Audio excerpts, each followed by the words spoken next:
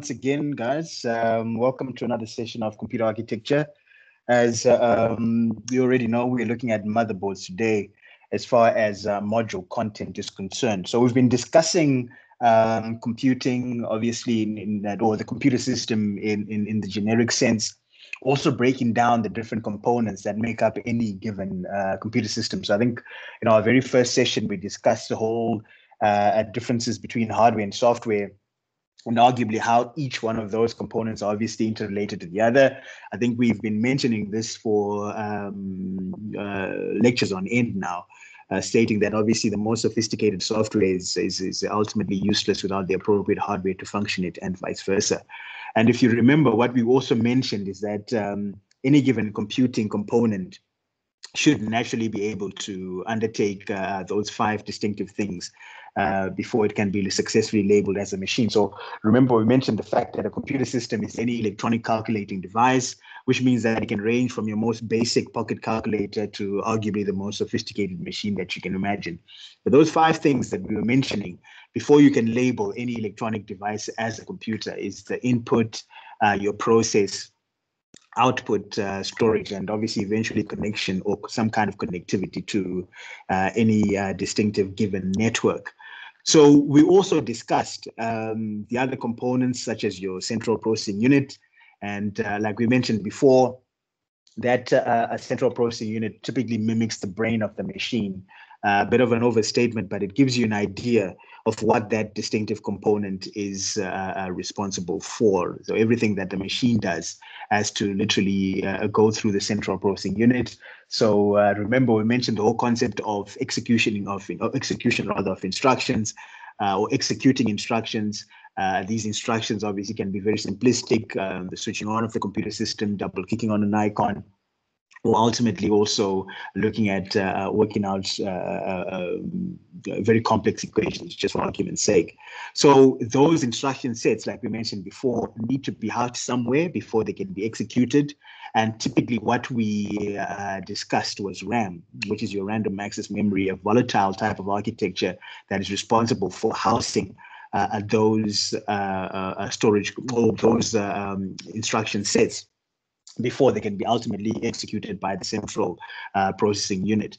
And then uh, also subdivision of your, your, your secondary storage, uh, looking at your, your hard drives, optical media, and flash uh, components. And we mentioned that whenever you're looking at these particular gadgets or devices, what you actually are doing is uh, saving content on a more permanent basis uh, as far as um, that computing infrastructure is concerned. The last session that we had we discussed uh, firmware and uh, we mentioned that this is uh, typically hard-coded software that is normally uh, incorporated by the manufacturers of given hardware devices. And uh, uh, this particular software is literally stored on another type of storage component, which we mentioned as ROM or read-only memory storage. And obviously what the name would say is you can typically just access what is stored there. You can't uh, literally change without obviously using, without obviously uh, you uh, you using specialized uh, techniques and gadgets and devices in order for you to obviously uh, erase or reincorporate content on these particular uh, storage components there. So in today's session, if I was to just maybe share my screen here so that you we just revisit some of the content and obviously understand exactly where the whole concept of motherboards is uh, coming from. So if you look at um, uh, the shared screen there, I think it's important to identify and realize the fact that when we were going back to the whole concept of a computer system, if you remember, we mentioned that um, your computer uh, is uh, literally made up of an abstract part, which is your software, and you also have uh, a physical part, which is ultimately uh, your hardware. Like we mentioned before, a couple of uh, moments ago, two interrelated, one can typically not uh, exist without the other. But if you remember well, we mentioned the fact that your computer system should be able to obviously provide, excuse me, look at some kind of input. we can discuss your process uh, we can also look at an output. Um, you might want to also uh, look at storage. and uh, lastly, uh, network. Right. So this is uh, typically the whole concept of what is happening as far as your computing mechanism is concerned. So we've got several input devices uh, several process, uh, output, storage, and network, obviously from a physical point of view, uh, that are responsible for that uh, distinctive part as far as the generic computing process there is concerned. So with input, we've, we've discussed keyboards, uh, mice, scanners are typical examples. With processing, we've looked at central processing units, GPUs, as your graphics processing units, and also proprietary architectures such as APUs, which combines uh, both the CPU and the APU into one distinctive chip. And uh, uh, that is obviously uh, uh, distinctively associated with AMD. Then you've got your output, uh, your monitors, your speakers, uh, printers as typical examples. Not the only ones that are there, like we've mentioned before, but arguably some of the most common ones that you'd find as far as your computing mechanism is concerned. And then with storage, we've got that uh, subdivision we were talking about earlier on, which is uh, um, uh, your primary and secondary primary and normally associated with volatile uh, configurations such as your uh, RAM components. And obviously you're looking at storage of instruction sets that need to be executed by your central processing unit. And then uh, your secondary storage is normally look, looking at mass media where you're now storing content on a more permanent basis. And uh, it's, it's, it's arguably associated with non-volatile characteristics.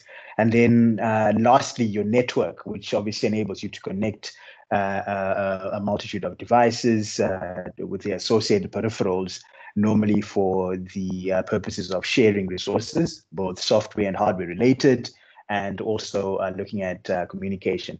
So just uh, the whole concept of, of, of, of, sending and receiving messages using the appropriate signals or technology in general so, uh, um, uh, in essence, like we were mentioning uh, a couple of uh, moments back, you've got all these hardware devices that are responsible for uh, uh, these individual stages. But remember, they have to be they have to connect somewhere because naturally your CPU has to be plugged somewhere, your keyboard has to be plugged in somewhere, your printer has to be plugged in somewhere, your RAM has to be plugged in somewhere, your hard drives have to be literally plugged in somewhere.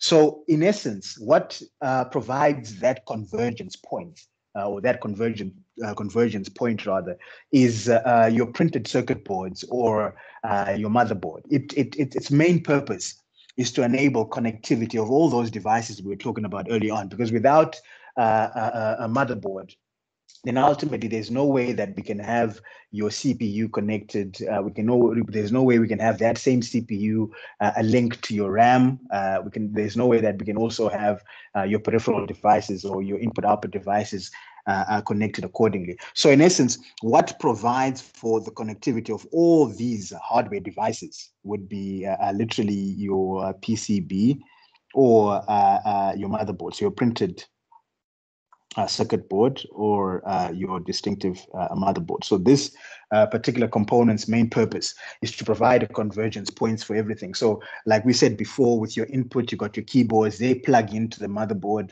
You've got your your your mice, they plug into the motherboard. Same difference would go with your your your, process, where you've got your uh, central processing unit, GPU and APU as typical examples. They all plug into this motherboard. Same difference would go with your monitors, uh, um, your speakers and your printers for the output uh, uh, stage there. Um, and obviously your, your storage and networks, your network interface cards, for argument's sake, and then your storage, both primary and secondary, are availed for in terms of connectivity by this distinctive board. So in essence, uh, uh, it, it provides some kind of cornerstone when it comes to your computer system or provides a foundation for the actual PC and uh, uh, uh, your motherboard's main responsibility is to act uh, for, uh, as that convergence point that we were mentioning earlier on. So when you're discussing the whole concept of motherboards, I think what um, um, you're distinctively supposed to take into consideration is that uh, motherboards look at two distinctive features, you could say, or two distinctive entities in terms of what they're all about uh, when it comes to the computer system. You've got what they call the chipset, which we've discussed when we mentioned uh, your firmware, and then also what is known as the form factor. All right. So uh, whenever you discuss motherboards or whenever you bring about motherboards, um, these two particular terms uh, are literally also interrelated. Your chipset's main responsibility is obviously to provide for compatible CPU and RAM configurations. So um, your motherboard chipset uh, typically determines the type of uh, uh CPU that you can plug in um, or type of CPU that you can use. And at the same time, it also uh, determines um, the type of RAM as well as the amount of RAM that you can plug in excuse me, as far as your specific machine there is concerned. That's the chipset's main purpose. And if you remember what we mentioned before, chipset was initially subdivided into uh, two distinctive parts, your north and south bridge. Uh, so earlier machines would have a north and south bridge or two separate chipsets or two separate uh, uh chips that represent the chipset at large. And your North Bridge's main responsibility was to typically provide for uh, connectivity to the fast components uh, associated with your uh, machine. And normally that would be your RAM and your graphics. So they would have a closer uh, link to your central processing unit because they need uh, the attention of your central processing unit a lot uh, faster, um, or they literally take precedence. And then your South Bridge's main purpose was to provide for connectivity to your input output devices. So that obviously your input output ports to deal with your peripherals, uh, you, you, such components as your keyboards, your mice, uh, hard drive, uh, optical drives, and so on, would then uh, um, use that particular part of the chipset to look at connectivity to the machine itself, or literally the connectivity or link uh, uh, to your um, to your central processing units. I think if you remember, I think uh, when we're looking at at at when we're discussing the whole concept of firmware, if you go back to that uh, distinctive uh, uh clip there, we mentioned that you've got your central processing unit there, and then uh, normally you had uh, um, your North Bridge. We'll just um, label it as an NB there and SB for South Bridge. These would all be connected directly um, to your central processing unit. So naturally, your uh, uh, uh, South Bridge connects to the CPU through your North Bridge. And what we were mentioning is that your uh, North Bridge's main uh, purpose there was to connect uh, or link RAM and your graphics. And then on the other hand, your South Bridge was just looking at your input output devices. So devices, ports, whichever way you look at it, that's what your Southbridge uh, was responsible for. But now with uh, modern machines, the whole um, aspect of uh, uh, the Northbridge has now been directly incorporated within your central processing units.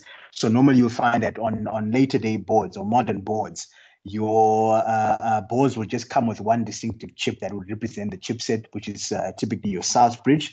Um, why? Because now uh, integrated graphics and obviously your integrated uh, memory controller uh, uh, chip conventions uh, or memory controllers in general have been incorporated within uh, modern central processing units. So naturally now what you will distinctively find is just a CPU that would uh, typically link to your um, your South Bridge, and that particular South Bridge now is not coined as a South Bridge, but uh, typically a platform controller hub in general. So uh, PCH is what represents what the, the South Bridge was known as a couple of uh, years ago. Uh, initially, you'd have you'd had uh, Intel uh, labeling theirs ICH, which is short for Input Controller Hub, and then AMD would label theirs uh, FCH, which is short for Fusion Controller Hub. But again, uh, both these institutions now just uh, generically coin your uh, distinctive uh, uh, Southbridge as a platform controller hub. So this now is distinctively identified as a PCH, which is short for Platform Controller Hub. And like I said before, the whole concept of your Northbridge has been plugged in directly into your uh, uh, CPU conventions there. So your your your um, uh, uh, chipset's main responsibility when we're discussing motherboards is just to look at uh, a definition of the type of processor and RAM that the actual motherboard requires, and uh, to a certain degree, looking at what built-in devices that the motherboard actually supports including your expansion, uh, the expansion slots. I think we mentioned expansion slots before, and we mentioned the fact that uh, uh, the moment you want to extend usage of your computer system, you normally uh, want to plug in expansion cards in these particular slots. So normally you'll find that uh, most of these boards would come with uh, onboard ports which means that you're looking at ports that are already fixed onto the board. But you might uh, discover that some of these ports might have uh, distinctive limitations in terms of uh, um, architecture. So you want to probably add in a separate uh, or dedicated graphics card you might want to also do the same for a sound card or uh, extending the amount of uh, uh, USB ports that you've got or input output ports that uh, are incorporated on your machine. So normally you would use these expansion slots uh, to uh, then plug in these expansion cards that will then enable uh, extension of your or expansion literally of your computer system in terms of the amount of ports and architecture that you can use. So technically, you're also looking at the chipset defining support uh, for those uh, extra components that you've uh, typically plugged in there. Because remember, those components literally determine the core functionality of the actual system itself. So the two biggest uh, uh, um, brands when it comes to your your your distinctive chipset there, uh, in terms of manufacturing configuration, uh, would be uh, Intel and uh, um, AMD. Obviously, not the only ones that are in existence, but literally they're the ones that are looking at um, providing uh, chipsets for both desktop and laptop conventions as far as your uh, environments there um, is concerned. On the other hand, now, when you discuss form factor, this literally just determines the shape and size of the actual uh, uh, computer system that you'd use. So um, form factor uh, deals with uh, uh shape and uh, distinctive size of your machine. Mm, of your computer system. That's the main purpose of having um, your uh, form factor incorporated there. The different form factors that exist that also determine, obviously, uh, the shape and size of what is happening as far as your uh, specific uh, machines they are concerned. So naturally, uh, it's not just a question of, especially when you're looking at upgrading your your your your uh, motherboards, uh, for argument's sake, it's not just a question of just going out there and getting anything that you find, but obviously you need to make sure that it's compatible with either the, the box that you've got currently, or if you're buying something new completely, you still need to understand specifically what type of box uh, or tower that uh, this particular uh, motherboard would typically plug into. So there are several form factors that are out there as far as your specific setups they are concerned. I think if you were to show um, basic representation of what is happening here, um, let me see if I can uh, share another screen here. So a typical example of what um, your boards would uh, distinctively look like, it's something along these lines.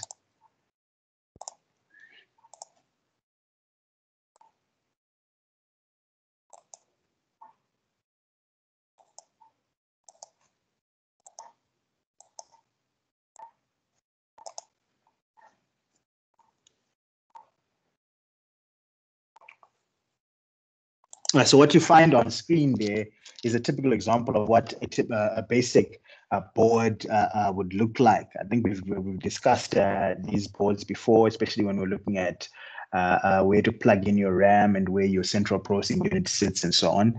that's a typical example of what a modern day board as far as basic setups they are concerned. But remember, it didn't just, um, the computer systems literally didn't just arrive at these types of boards. There was a graduation in terms of the shapes and sizes that were there, and ultimately also specifically understanding exactly why there was a need for uh, changes as far as these particular boards and obviously the type of uh, connection points they would uh, typically provide for. So the first type of um, uh, board really that uh, was literally relevant when it came to your motherboards was uh, uh what you see on screen now, which is uh, the AT board or the AT form factor. And uh, um, um AT actually is short for Advanced uh, Technology.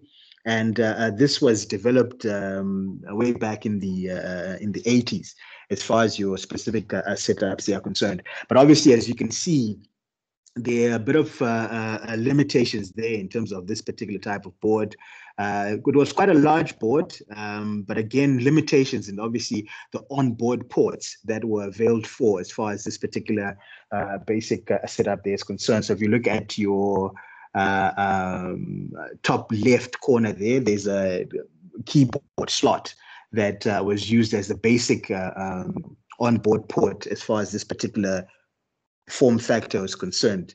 Because remember, when your computer systems were initially designed, the sole um, means of input, really, or the sole input device was uh, distinctively your keyboard.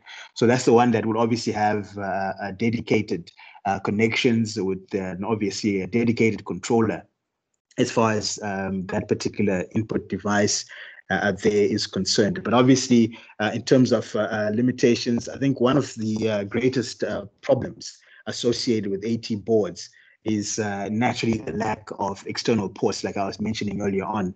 And uh, um, that uh, obviously presented quite a, a massive um, hindrance in terms of, of, of, usage of the computer system. Because remember you've got a whole host of peripheral devices now that we're using. So keep the keyboard is not the only uh, type of component that you'd want to plug in. You can discuss uh, the, the, the, the, monitors that we were, we were, also mentioning a couple of uh, moments back so initially when when these pcs were initially were first invented the only devices plugged into that average uh, PC with a monitor and the keyboard, like I was mentioning earlier on. Um, so th- that's what the, the, the AT was designed to handle, just uh, your your keyboard and the actual monitor itself. So it obviously have uh, an actual dedicated port as far as as as that uh, uh, setup is concerned. But obviously over the years, um, multitude of devices were then uh, created. So when it came to AT, you had the, the generic AT that you find on screen there, and then you also had the baby AT, which is a, um, a, a, smaller version of your generic AT, but arguably provided one the same thing in terms of functionality. So if you look at what we've got on screen now, you've got a, baby AT board incorporated on top of uh, uh, that, or uh, uh, shown on top of uh, your generic AT just to show you the differences in terms of of of, of uh, basic shape and size when it came to these uh, distinctive form factors.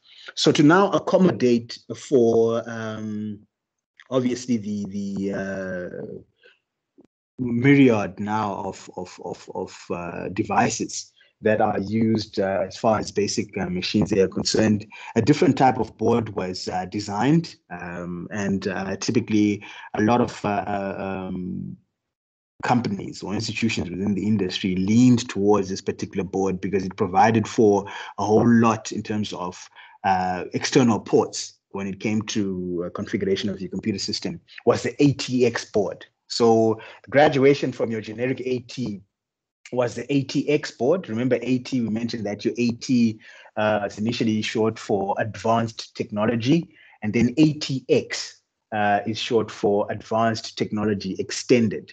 So um, it got off to a bit of a, a, a slower start because, like we've mentioned before, I think when we were discussing RAM, uh, when we looked at uh, uh, the the initial the differences uh, or similarities, whichever way you want, you want to look at it, between Rambus and DDR.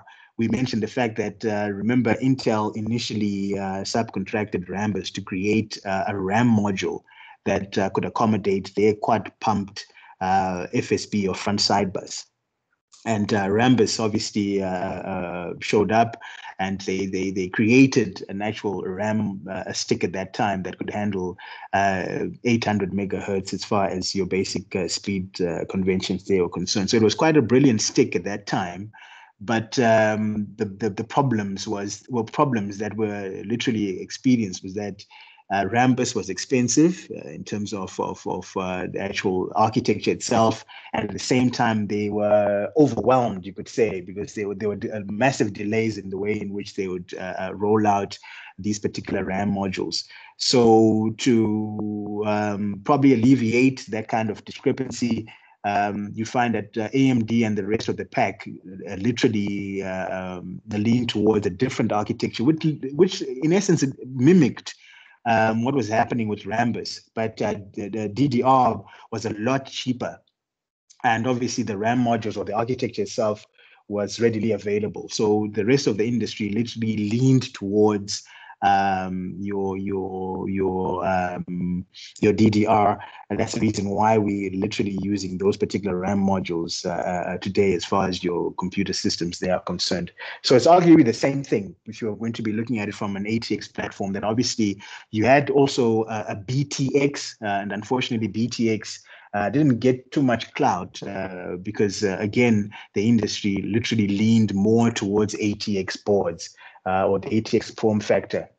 And obviously, that's the one that you'd find that is uh, uh, uh, literally the most common one when it comes to your towers or computer systems or your desktops uh, in general, as far as your uh, uh, setup there is concerned. So your ATX typically overtook um, AT, and it's been dominant in the industry for a couple of years, really. and a typical example now of what your ATX board or your earlier ATX board uh, uh, uh, Uh, uh, uh, look like is what you've got on the screen. I think we've we've shown images of this before. Now you can see that you've got um, your external ports that can accommodate for more devices as far as uh, um, your computer system is concerned. Uh, remember, you initially had dedicated printer ports. That's the pink port that you find there that is labeled as an external port, or that is uh, literally uh, the more dominant type of port where you've got the external port label that is there. But obviously, as, as architecture uh, typically uh, um, advanced, you now have your USB slots as your default go-tos when you're looking at uh, plugging in multi- multiple devices. So your universal serial bus would then be responsible for connect- connecting keyboards, uh, mice, uh, printers, uh, scanners, speakers, uh, headsets. The list will go on and on. So uh, initially, you had dedicated keyboard and mice PS2 ports but uh, obviously now uh, those have become obsolete and overtaken by uh, your USB uh, setup that is there. So you've got a myriad of uh, uh, connection points that are there. Your north and south bridge are still incorporated. Remember, this is an early type of ATX board that you've got incorporated there with the later day ones, like we mentioned before. You only now have the south bridge incorporated within your um, uh, motherboards because Northbridge uh, architectures have been plugged in directly into your uh, central processing unit. So that's what a typical um, ATX board would distinctively uh, look like. And you, if you're to look at uh, uh, the actual external ports, remember we mentioned the fact that your AT's main problem was that there was no external ports. Um, associated with its making. So if you look at the external ports, that uh, you now have uh, got on the screen currently. Um, like I was mentioning earlier on, uh, dedicated uh, uh, mouse and uh, keyboard ports, your PS2 connections or your mini DIN configurations. Now those have become obsolete because everything now literally connects to your USB slots there. And then you've got that pink port that you find your dedicated 25 pin printer port. Again, that has been uh, incorporated within USB, DVI, uh, your VGA, and your IEEE uh, 1394 connections. Uh, Firewire, also another term associated with that, not forgetting your audio as well as your USB, inclusive of your network uh, uh, uh, connections there. So that's a typical example of what ATX literally then provided for. But it's still in existence. Naturally, that's what we're still using now with your generic um, desktops. The only difference now is that you no longer have dedicated ports for uh, such devices as your printers, um, your keyboards, and your mice. Uh, literally, like we mentioned before, those now all connect uh, directly to your distinctive um, USB uh, uh, conventions as far as uh, setups is concerned. So you also have miniaturized versions of this. Remember, we talked about baby AT.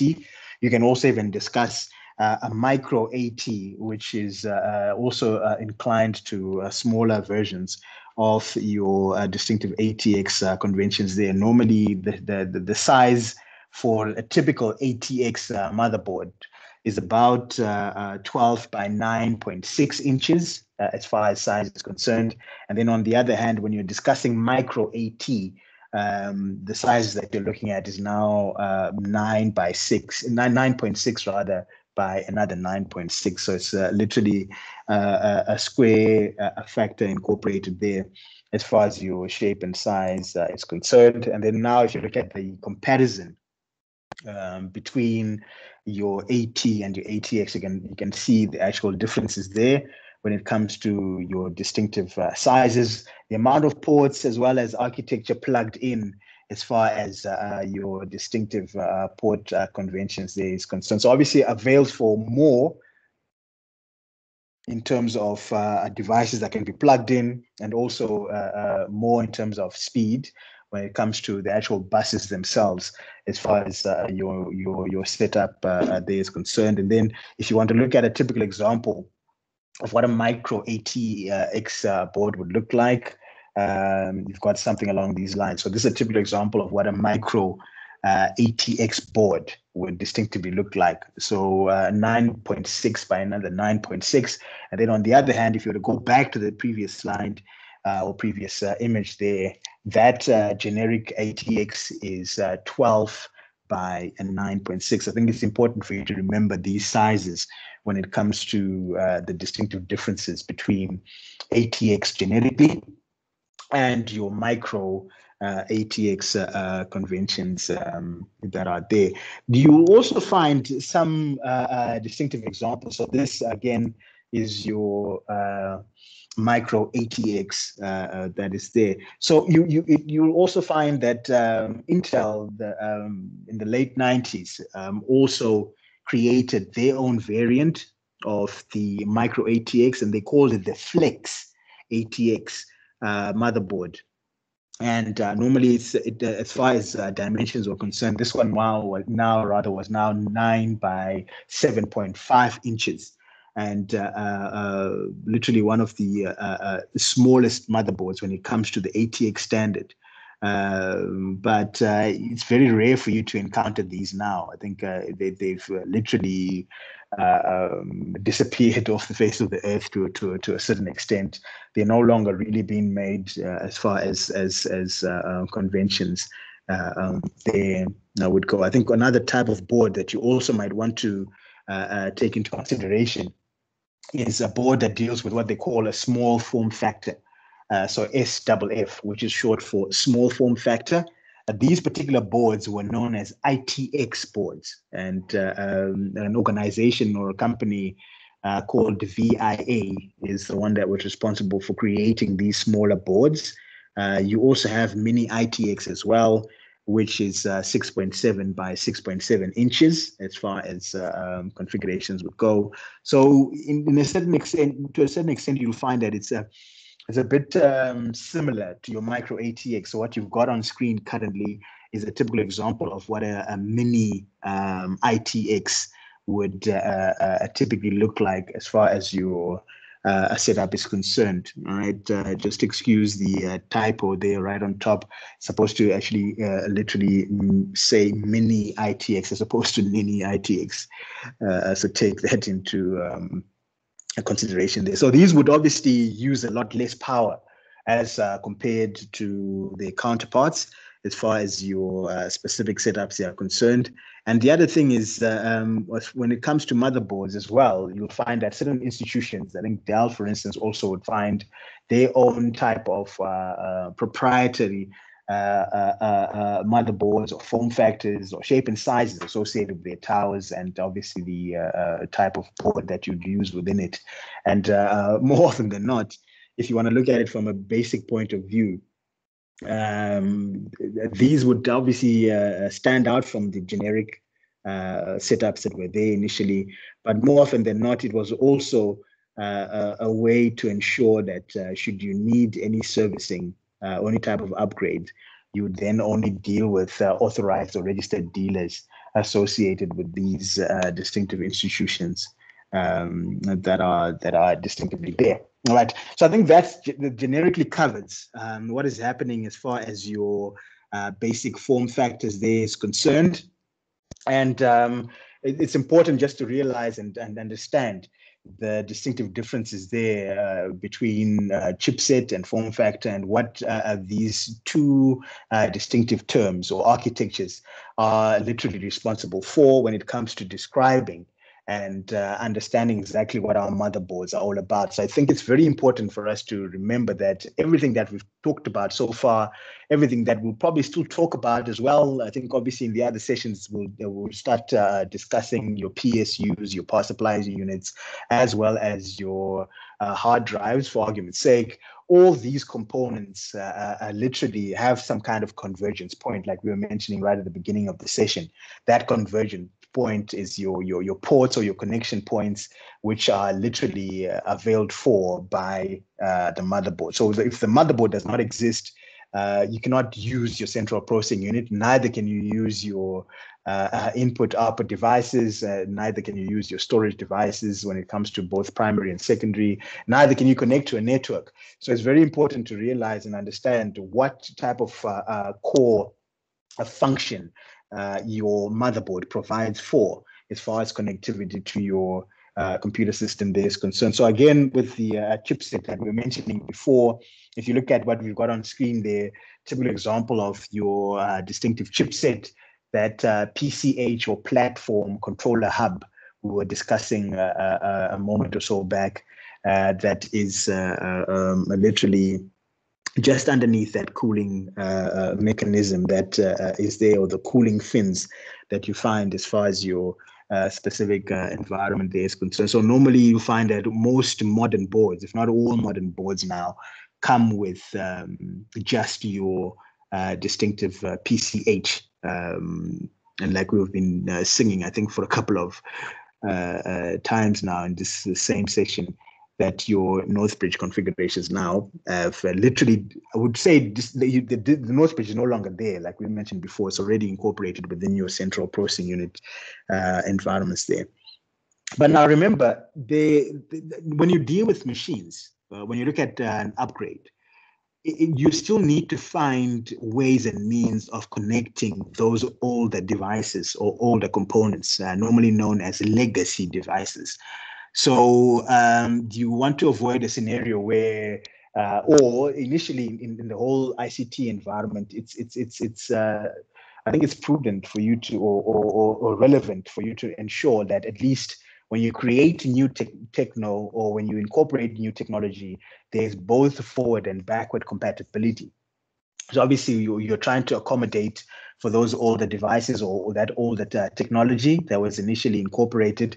And what uh, they did when they were designing and creating new boards is to incorporate uh, um, a chip or integrated circuit that was uh, distinctively uh, um, designed to accommodate for those older or legacy devices. So remember, any old technology or any or any uh, um, uh, old uh, connectivity platforms associated with um, ICT are dis distinctively described as legacy devices.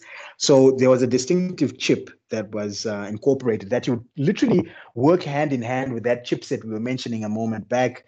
Uh, so literally another a third chip, if you if, if if if you must, that was known as the super input output chip, and uh, its main purpose was to uh, literally link um, or be able to work with legacy or older uh, uh devices there. So a typical example of what your uh, your super input output chip would look like is what you've got on screen there. That one labeled ITE is a typical example of um, your super input output chip.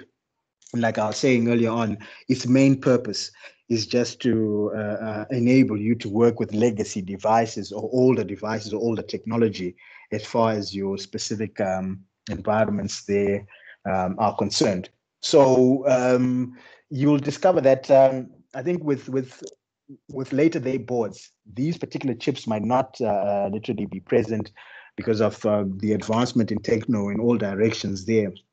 But uh, initially, uh, these were incorporated just to ensure that uh, at least there's some kind of connectivity with uh, older devices or technology as far as your uh, um, setups would, would, go. So you find that some manufacturers would add this in, some choose to uh, leave it out completely as far as uh, configurations uh, are, are, concerned. So I think the other thing as well that is distinctively relevant when you're discussing the whole concept of the chipset is to understand uh, if you look to literally look at a block diagram or some kind of schematic that then enables you to visualize the what the chipset provides for, how it connects to your your central processing unit, how it also provides for connectivity to other devices as well. I think when we were looking at uh, a firmware, we looked at um, how uh, that chipset then links uh, the uh, CPU to all the other devices that you want to literally connect as far as your uh, computer system is concerned. And then on the other hand, if you want to look at it from a different point of view, especially when you're discussing the whole concept of uh, schematics, uh, something that you find on screen currently is a typical example of what uh, that would be. So this is an example of the Intel Z390 chipset block diagram. And um, obviously looking at eighth and ninth gen Intel Core processors as typical examples uh, with your uh, UHD graphics there, uh, connectivity to the actual chipset itself. So when you look at the, the chipset there, uh, you've got optional connection points that are the, the, the, uh, labeled um, by that particular legend there. But as you can see, you've got your uh, processors linking directly to your RAM there, which in this particular instance is your DDR4 and you've got uh, a speed of about 2,666 uh, megahertz. Um, so as you can see, direct linkage to your RAM now, which which again, like we mentioned before, is replacing the actual uh, setup associated with uh, the initial Northbridge conventions. And then on your left-hand side there, you've got the same uh, uh setup associated uh, in terms of graphics, where you've got uh, connectivity there to your graphics associated with your PCI or short for peripheral component interconnect platforms. So your your your CPU now handles uh, Northbridge conventions. And then on the other hand, uh, when you look at your generic chipset, you've now got connectivity to your input output ports, uh, USB or otherwise. Uh, you also have your your your your um, high definition audio incorporated there. Should you need to incorporate a redundant array of inexpensive or independent disks, uh, which is your RAID technology that uh, normally is associated with uh, trying to safeguard any uh, stored content from from from corruption uh, or damage, uh, whichever way you look at it. So it's just a, a, backup mechanism that is incorporated there, both on a software and a hardware level, to try and safeguard any stored content on uh, your hard drive. So obviously your motherboard has to be capable of this uh, for you to be able to undertake as well as accommodate for both software and hardware related uh, uh, RAID. so it's just a, a fault tolerant architecture really that tries to safeguard against any stored content. So just in case you lose any data that is stored, or just in case uh, uh, that data is damaged, uh, naturally what you can do is always uh, um, uh, reconstruct that data from, from backups that have been incorporated there. So that's a typical example of what that uh, provides for. But I think the main thing to focus on really when it comes to that diagram is just the way in which your CPUs would then connect uh, to your RAM on your right hand side there, and that same CPU connecting to graphics on your top uh, uh, left, as far as, as, as conventions would go. And then when you come down to your uh, Intel Z390 chipset um, specifically there, I think the concentration is looking at uh, uh, connectivity to your input output ports um, so obviously, uh, when you look at, at the left-hand side, you've got your USB, uh, PCI uh, Express uh, uh, connections there. Uh, even your network connections are incorporated as far as that particular setup would go. And at the same time, on your right-hand side, um, you're looking at your your high-definition audio there, as well as wireless and Bluetooth connectivity as far as your setup is concerned. I think the other thing is that's also important is a direct connection to that firmware that we were discussing in last week's session. And uh, this just gives you an idea now the relevance and how important uh, a firmware actually is when it comes to uh, functionality as far as your computing uh, mechanisms uh, there are concerned. So obviously the extra devices that you can also discuss there such components as uh, uh your, uh, extra, USB ports, for instance, uh, connectivity to both front and back USB ports. when it comes to your uh, uh, mobile motherboard or printed circuit board, uh, sound, networking, a typical example of additional connections there, video, the RAID we were discussing just now, as well as case fan support, which is also relevant as far as um, your, config your configurations would go. I think what is also important to distinctively take cognizance of is the um, expansion bus and remember, uh, this expansion bus is um, just a connection channel. Connection channel. Remember, every time we talk about buses, we've mentioned that a bus is just a connection point or connections channel, rather, or communications channel, if you look at it from a different point of view. And uh, um, the, the, these particular slots and literally accompanying wires uh, um, support chips on uh, the actual first PC and on the latest and greatest PC whichever way you look at it.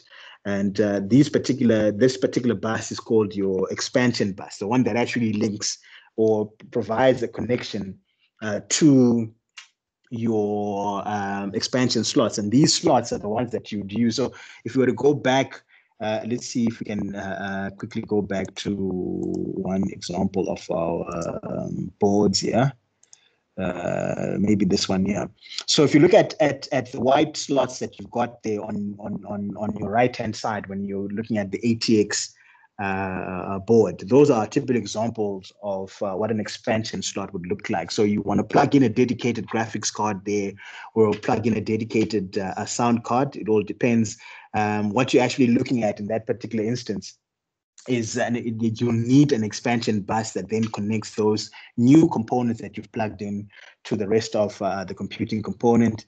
And arguably, if you want to look at it from this particular uh, example that we've got, uh, you actually have a proper label of what the PCI slots are all about. So you've got those four slots that are there. Again, you can plug in, um, you can you can literally populate all four of them with uh, dedicated components uh, dependent on what it is that you want to plug in. So the example that I was using uh, a moment back was a dedicated graphics card, a dedicated sound card. You can also even plug in, uh, uh, for instance, a wireless uh, adapter card there, a TV tuner card. You can also even plug in, for instance, extension USB port uh, extension uh, card that is there. So if you want to plug in more, or if you want to utilize more USB ports, you can also uh, uh plug in uh, a card that accommodates for that.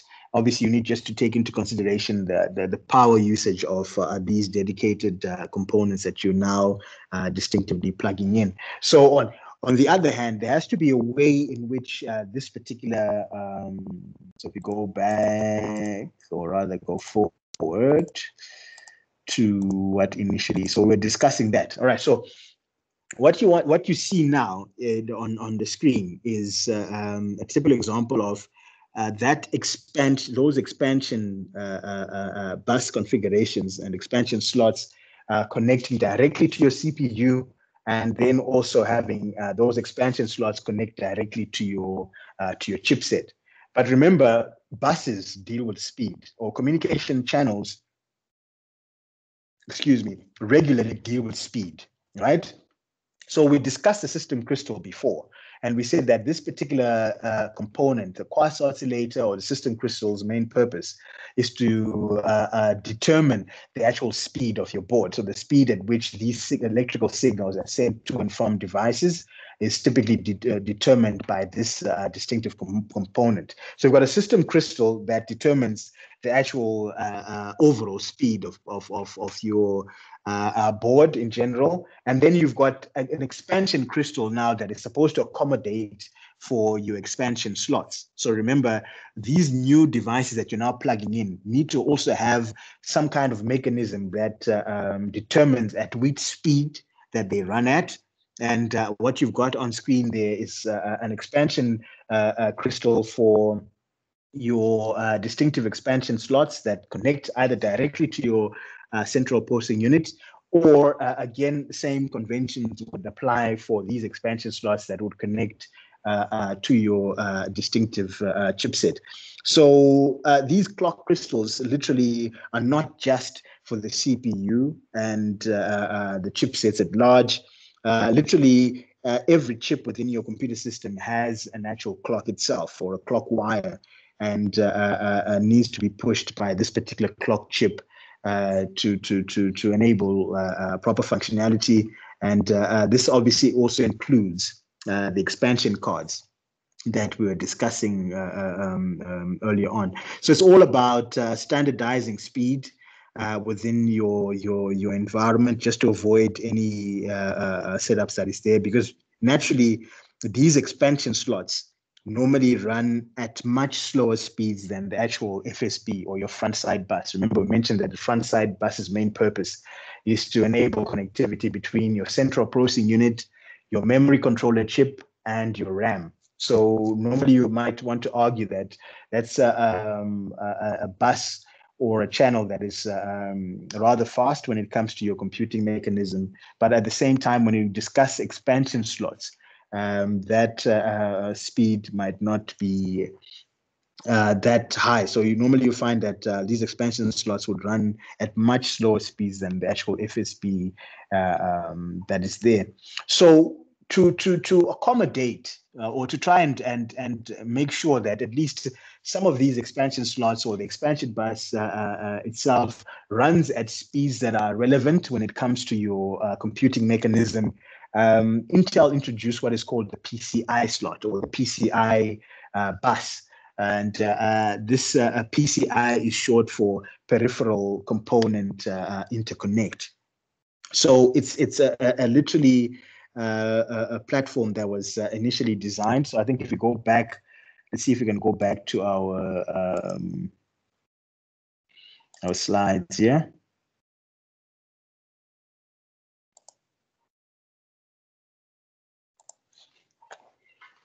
Right, so to accommodate for um, uh, these speeds, what uh, uh, Intel did, so Intel literally then uh, designed uh, the PCI. So uh, if you go back here, so Intel literally designed uh, the PCI bus, and PCI is short for peripheral component interconnect.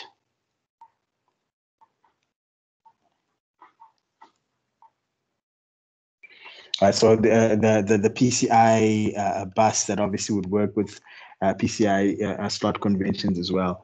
So uh, back in the early 90s, and um, literally the graduation um, was incorporated, obviously dependent on the actual speed as far as configurations they are concerned. The actual PCI itself provided for a much wider and faster and literally more flexible alternative than any previous expansion bus that was initially there. So you might want to argue that PCI literally changed the game in the way in which your expansion slots as well as the expansion bus uh, was incorporated within uh, your your your um, computing mechanism because the speeds were rather fast. Uh, the bus itself was wide enough. Uh, initially, uh, sitting at about 32 bits and uh, running at about three, 33 megahertz. At that uh, point in time, early in the early 90s, that was quite uh, fast, and it kept on uh, graduating in terms of or advancing in terms of uh, uh, configurations as well as capabilities and speed itself. Obviously, um, for laptops, you've got a mini PCI on the other hand that is used for connectivity. And as far as the actual graduation is concerned, uh, you can discuss uh, what they call PCI Express. So you also would find uh, um, graduation of, of this generic PCI was uh, um, your PCI Express. So I think uh, the most important one that you would uh, want to discuss there is PCI um, Express, which is shortened PCI E. Um, so it's still PCI, but now instead of providing a parallel connection, remember parallel looks at shared communication or shared comms. That's the reason why normally you find uh, parallel is a lot uh, slower when you compare it to serial communication because uh, with serial there's dedicated communication or point-to-point comms. There's no sharing of that link or that line. That's the reason why it's uh, literally faster. So it provided for uh, point-to-point serial connection uh, as opposed to initially what PCI generically provided, which was um, a shared parallel uh, communication as far as uh, uh, uh setups is concerned. So more or less consider looking at that 32 bit that we are discussing earlier on, uh, moving from one particular device uh, to the CPU in one chunk of data as opposed to um, different pieces associated with your with your environment. So one of the advantages is that PCI did not share the bus itself.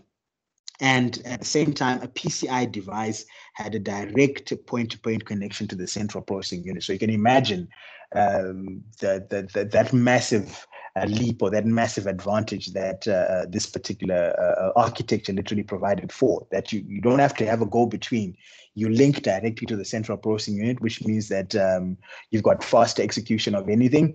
And then at the same time, there's no sharing of uh, a communications line there. So it means that uh, uh, communication literally was dedicated in that uh, distinctive environment. And uh, normally you find that these PCI controllers or devices uh, identified as, as lanes. So again, mini PCIe at, at, the same time also created for your a laptop uh, conventions there as far as your uh, setups are concerned. So this is all to do with the expansion bus and ultimately how you can connect those new devices uh, that we were talking about earlier on, or you can extend uh, your computing uh, system to accommodate for more uh, functionality. Now, when you're looking at installation of these expansion cards, right, when it comes to the board, so if you're discussing um, installation of these expansion cards, so installation of um, installation of uh, expansion, a few expansion cards.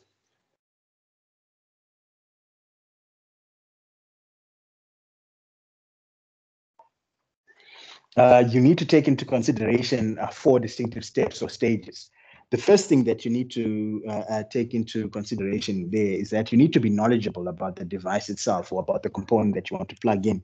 So the first stage is um, being knowledgeable about the actual uh, device there, uh, knowing specifically what uh, device you want to work with and how compatible it is with an already existing system. Remember, it's not just a question of buying a, a card and just plugging into a, a vacant slot, but it, it, it also looks at uh, compatibility, knowing exactly the capabilities of your system and what this new component uh, literally provides for so you need to check um, uh, in terms of of of, uh, the whole concept of uh, compatibility. So literally being knowledgeable about the device itself. The second thing, rather, you want to also look at is the actual physical insulation associated. Uh, so physical um, installation, yeah.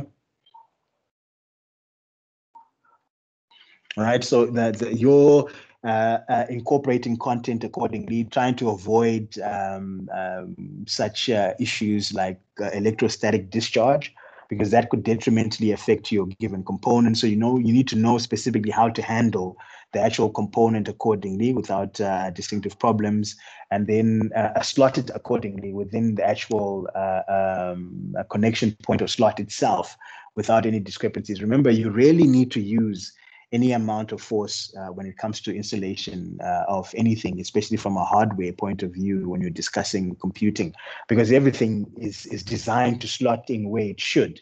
So the moment you discover yourself using excessive force, that might already be an indication that uh, that particular component either does not plug into that uh, uh distinctive port or slot or uh, connection point, or you're doing it incorrectly as far as uh, your um, installation there is concerned. So it's important to understand that you, I think the main thing is uh, uh, plugging into the correct slot and to also ensure that uh, you avoid electrostatic discharge or ESD uh, as far as uh, um, your uh, components they are concerned because like we said before um, your your your electrostatic discharge would detrimentally affect your machine normally any component that is affected by ESD literally needs to be replaced in its entirety. So you want to avoid that. And I think it's also important to remember the fact that whenever you're working on a computer system, regardless of how small the actual job might be, when it comes to you opening a case and plugging in or plugging out content, whichever way that uh, you're looking at, uh, you need to make sure that uh, um, the PC is always unplugged uh, from your power uh, before you uh, insert any uh, distinctive uh, component there, especially your expansion uh, your expansion card. So just make sure that uh, power has been plugged off completely just to avoid any discrepancies there because again that could detrimentally affect not just the card itself but the board as well. So you might find yourself having to actually replace an entire computer box or tower or, or computer system at large uh, just by uh, um, not uh, following those basic steps as far as your your your um, configurations there um, would go. All right, and then the other thing that you also want to take into consideration as the third step there is to incorporate your drivers. Remember, we've mentioned drivers before and we uh, uh, said that these are, are, software packages, we literally that are stored on your hard drive that enable your uh, CPU to talk or to learn about a specific device. So obviously, every time you boot your machine, those drivers are loaded into RAM so that the CPU can access that content or that uh, particular uh, file. And uh, it uh, literally enables the CPU to know specifically how to talk to or how to link to a, a given device. So every component, every hardware component there would obviously need a set of drivers that would function accordingly, uh, uh, especially on top of uh, a given operating system or on uh, within an operating uh, specific operating system environment, just to avoid any uh, discrepancies there. So when we're discussing the whole concept of firmware, we did visit and talk about what's happening with drivers and and and how uh, these particular drivers are incorporated accordingly uh, when you're discussing the whole concept of um, your computing mechanisms there. Um, so you can either uh, uh look at at, at, at, at, installing your drivers from scratch if this particular component uh, is obviously a new component. If you're upgrading, uh, literally it's just a, a, an issue of you removing all drivers. But again, it's important for you to make sure that you um, also take um, heed of the rollback driver part that uh, enables you to go back to a previously installed driver just in case the new driver gives you starts giving you issues where your system probably starts working or functioning intermittently um, uh, because of the new driver that is there. I think we've mentioned the fact that these drivers are normally uh, signed uh, when they are tested accordingly. Uh, there was an organization or setup that was there rather that was known as the Windows Hardware Quality Lab um, that was responsible for testing these particular drivers and then giving them a digital signature. So that signature or digital uh, uh, uh, uh platform would literally uh, be a sign or an indication that this particular driver has been tested. It's, it's, it's, there are no known issues associated with it, and it's safe to install. Uh, it doesn't literally mean that unsigned drivers don't function, but they could cause system instability at any particular point in time. So they are not um, something that you want to uh, literally look at uh, using as far as your machines are concerned. So just on, ensure that um, you use the, the appropriate driver as far as your setups are concerned. So that particular hardware quality lab now is associated with the term Windows Hardware Certification Program and that's the one that is responsible for giving drivers digital signatures. Just to mention that, uh, or just to indicate that they have been tested accordingly without issues. And then obviously the fourth thing that you want to uh, distinctively look at when you basically are dealing with physical installation is then to verify functionality. So after you've uh, looked at uh, you understanding what the actual component is all about, your knowledge, uh, uh, physical installation, uh, incorporating the appropriate um, drivers, then you obviously need to verify that the actual device functions properly without any uh, distinctive problems as far as your uh, environments there are concerned.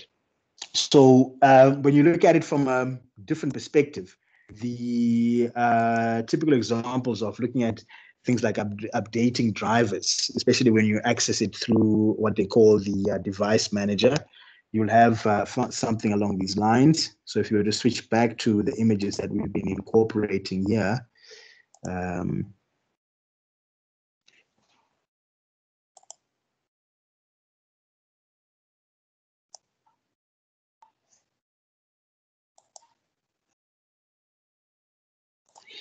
So that's a typical representation uh, within your device manager environment where you can look at updating uh, a device driver um, or uninstall a device, whichever way you want to look at it. And remember, uh, these particular uh, uh, drivers, like we said before, are uh, rather delicate entities because if they're not incorporated accordingly, then it means that you lose functionality of your machine, or not of your machine rather, but of the component, um, or uh, you've got minimal functionality of that component, or you've got intermittent functionality of that component. That's the reason why I was mentioning that it's important to incorporate the right driver, and uh, again to ensure that that particular driver uh, uh has been incorporated accordingly without any uh, uh, specific problems, or has been tested accordingly, just to ensure that everything runs without problems there. And then um, when you look at uh, what you've got on screen, that's uh, typically known as a standoff. And uh, uh, uh these particular components there are there to um, uh, and, and ensure that your motherboard is plugged in place and it, it holds accordingly on the actual um, um, case itself. So normally you'll discover that um, that these standoffs uh, screw into the bottom of an actual case itself. And uh, they're the ones that uh, literally, this is where you actually plug in your board. So they create a bit of a space between the actual case itself and uh, um, the actual motherboard for cooling purposes. Um, and ultimately just to ensure that everything is incorporated accordingly without any uh, uh, distinctive problems. So normally when you insert an actual new board, you mustn't assume that um, you will put in screws and standoffs in the actual same place uh, as the old board that you had incorporated there. Some might differ, so it's very important for you to make sure that uh, there's some kind of compatibility that is there uh, uh, uh to incorporate uh, that specific setup that is there. All right, so just to avoid that your motherboard becomes loose or your printed circuit board is loose, those particular standoffs need to um, align accordingly with the new board that you've got uh, incorporated there. And obviously with the other connection points that you can discuss, things like your LEDs. So uh, uh, your lighting that would show uh, hard drive activity or that will show that the power is on or that will show that uh, you've got connectivity to a network in some instances and so on. Um, these are all availed for by uh, connections to the actual board itself. So things like your soft power button, your reset button, your speaker, your power light, uh, the hard drive activity light that we were mentioning a couple of moments back, USB, uh, sound, and uh, uh, Thunderbolt as typical examples, all need to be connected to your board uh, uh, first before you obviously can can can utilize these accordingly on board or otherwise. So normally you'll find that as far as your boards are concerned, what you find on screen is these are the connections where you plug in. They're actually even labeled accordingly uh, where you've got IDE, which is short for Integrated Drive Electronics, uh, uh LED, you've got your power, you've got your speakers there, uh, uh, reset buttons, and so on. All these are plug in accordingly without distinctive issues, but you need to make sure that you plug them into the right spot in order for you to then utilize the, these accordingly, especially when you look at uh, such components or connections as your front um, uh, USB uh, uh, uh, ports, for instance, they, they would need to plug in directly into these ports.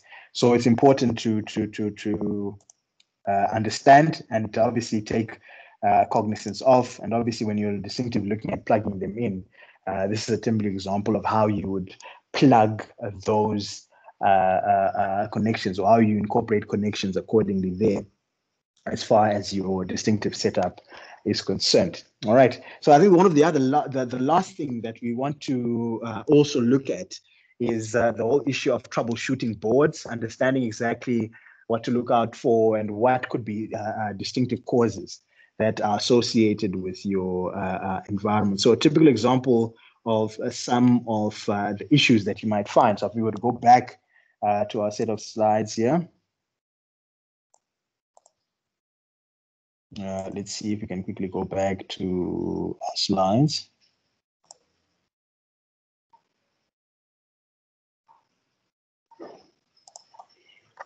So when you're looking at uh, the whole concept of uh, troubleshooting your boards, so here we can uh, mention as uh, basic um,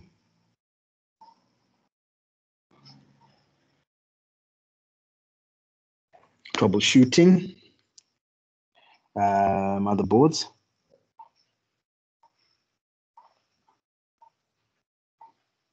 What uh, you obviously need to look out for is the actual uh, symptoms. All right, what are these uh, uh, symptoms as far as your uh, board configurations is concerned? So normally you've got three types of these.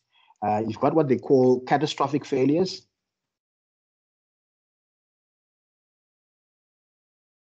So there is what is known as a catastrophic uh, failure associated with your uh, uh, motherboard configurations. Normally, this is uh, is is is something like that you'd find as uh, maybe dead on arrival, where the computer system just just doesn't work. A typical example of of of, of uh, catastrophic failure configurations there, as far as your specific environments are concerned, where the machine just just doesn't boot as far as your specific setup there is concerned. Obviously, the best way to deal with such a, a, an issue or a problem is uh, to look at uh, um, replacement of your distinctive uh, board in its entirety. The other thing that you also want to discuss is component failure. So, uh, in essence, the catastrophic failures can also be associated with uh, a burn-in failure where um, that ESD I was mentioning uh, a, a, couple of moments ago can then detrimentally affect uh, uh components. I think the the the, the, the best thing that you do is just to replace it accordingly without any uh, any issues. Remember, you've got warranties also associated with these components. So again, without having to look at any uh, uh intricate uh, um, setup or configurations, there the best thing that you want to do there is look at uh, replacing. Then you can discuss. Um, you can also discuss um, component failures.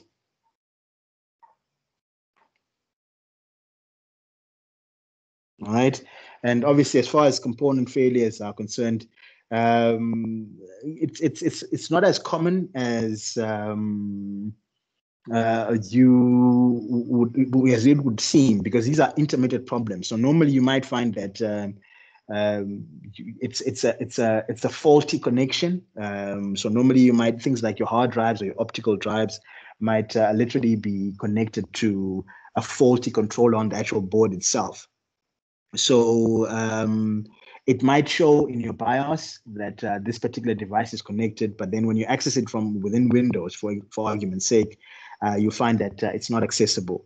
Uh, uh, typical other, other, examples can include USB ports as well. That uh, it, it, it worked for for a while, and then all of a sudden, that USB port not component, but USB port in terms of uh, the actual connection on your board is is not functioning accordingly. Um, so typically, it, it, these are all examples of of, of uh, component failures that are there.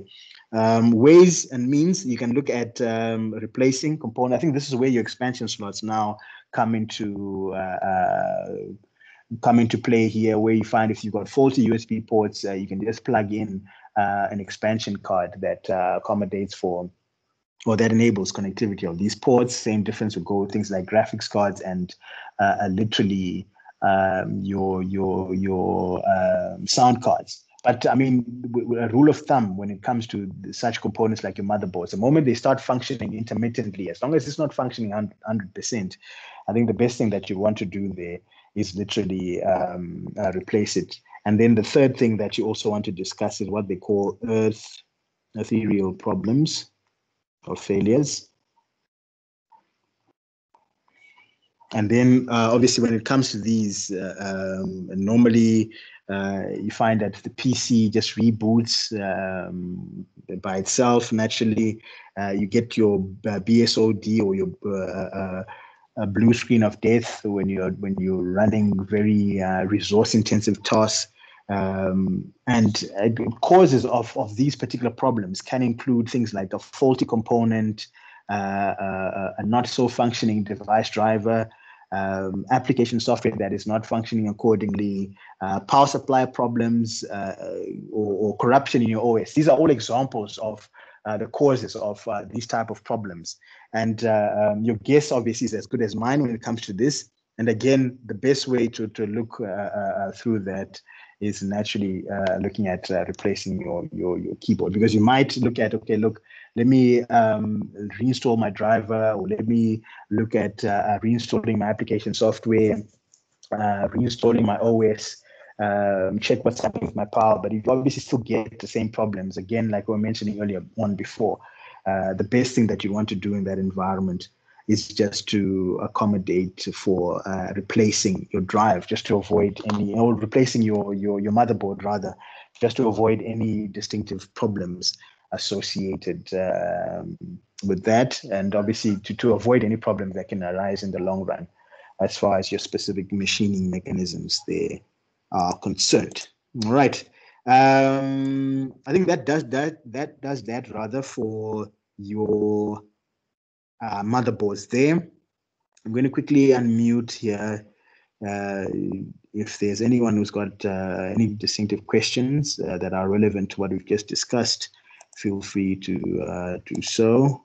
Um, so, uh, do we have any questions, contributions? Um, or concerns from the floor when it comes to PCBs or motherboards?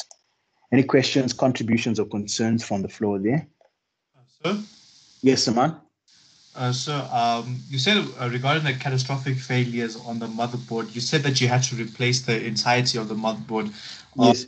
Are there no chances to you know maybe like uh, repair it just you know, maybe so so uh, okay, a faulty section instead of the whole motherboard? All right. So normally what happens is remember your board is is is is one entire unit. So that's the reason why we were subdividing these into uh, uh, component catastrophic and obviously ethereal uh, uh, uh, failures. If it's a component mm-hmm. failure, for instance, like if it's a faulty connection or ultimately um, so if it's a faulty connection um, that you're you're having in terms of of of of, of uh, like we were saying earlier on, your hard drive, your hard drive uh, or your optical drive and so on, you can you can literally get uh, instead of replacing the entirety of the board, you can li- literally get an expansion uh, card that can uh, uh, accommodate for that, right? But then when it comes to a catastrophic failure, these burn-in failures means normally you find it's, dead on arrival, like I was saying earlier on, or ultimately you find that uh, uh, the the board itself doesn't just it doesn't work in its entirety. There's no way you can replace a specific, or you can you can uh, try and repair repair rather a specific section of that board. The best thing that you'd want to do with a catastrophic failure is obviously replace the board in its entirety. But if it's a component failure, then naturally you can say, okay, look, I'm having a USB slot uh, or USB port rather that is giving me issues. My best thing, uh, uh, uh thing in, term, in terms of uh, um, troubleshooting, instead of replacing the entirety of the board, is buy an expansion card that has USB ports, plug it in, and then use those USB ports instead. So there's a difference between catastrophic and component. If it's component, you're good to go. But if it's catastrophic, then naturally you've got um, no other um, option but to replace the board in its entirety. I'm not so sure if that answers your question there, man. Uh, that answers my question. Thank you, sir. Okay, cool. Not a problem. All right. So, um, anyone else with uh, questions or contributions or concerns there in terms of uh, the boards? Questions, contributions, or concerns?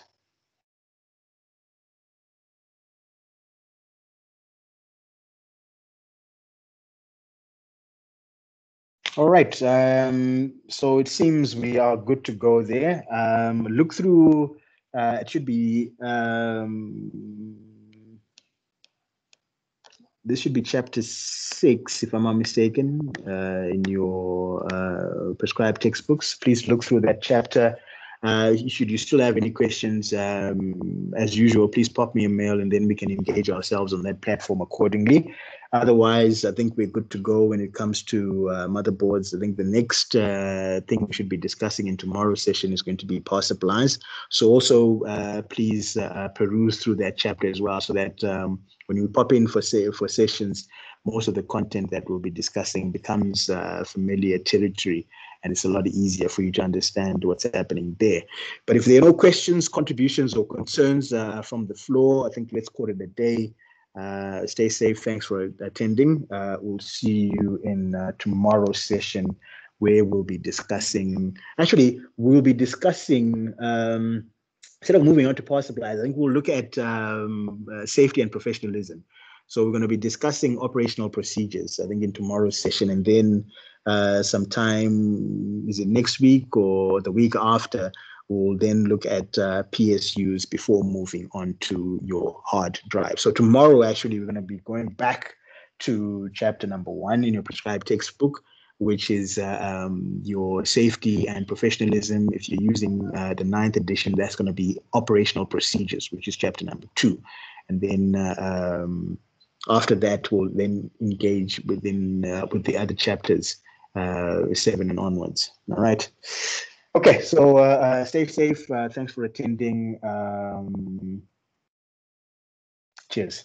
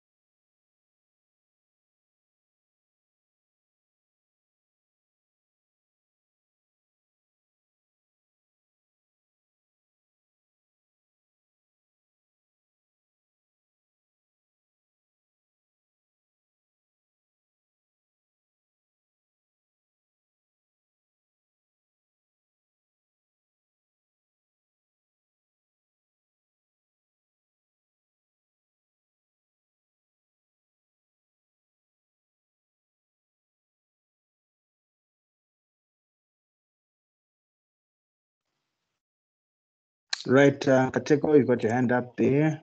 Um, what's your story?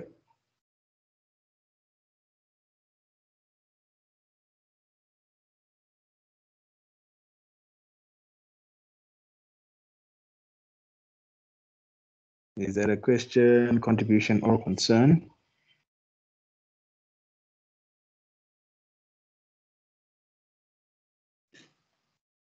Um, say, is this video recorded or not? No, it is recorded. I'm going to post it on um, on the YouTube channel. So if you check your chats, let me just put it in now. Uh, give me two seconds. Yeah. Um,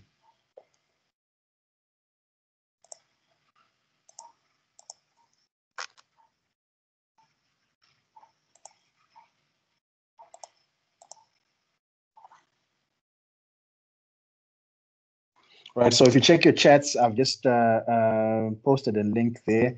Uh, give it about um, probably about 30 odd minutes. Probably by the time we we, we start uh, the, the, the next session at three for for for help desk, I'll, I'll have uploaded this on on on this particular channel here. You'll find all the other um, clips associated with computer architecture and the other modules as well on this uh, link here. So give it about 30 odd minutes. I'll have this uploaded.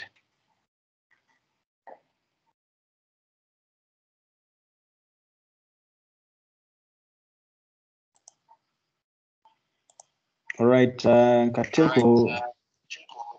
Yeah, so yes, uh, I think we, we we're having a problem with with because uh, you can go ahead and speak and unmute yourself. Um, otherwise, you can type in chat there. If you if you're having problems with with um, with your mic and so on, you can just uh, type it out in chat and then uh, take take it from there.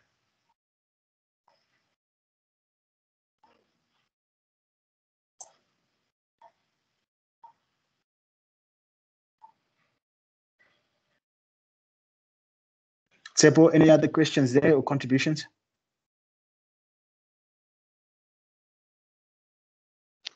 No, sir. Okay, cool. So that's that then. Um, right, Kanteko, I think maybe pop me pop, pop me something in chat there. Otherwise, uh, pop me a mail. I think we're having some kind of connectivity issues. Um, all right. All right. So let's go to the day, guys. Uh, again, thanks again for attending. We'll uh, see you in tomorrow's session.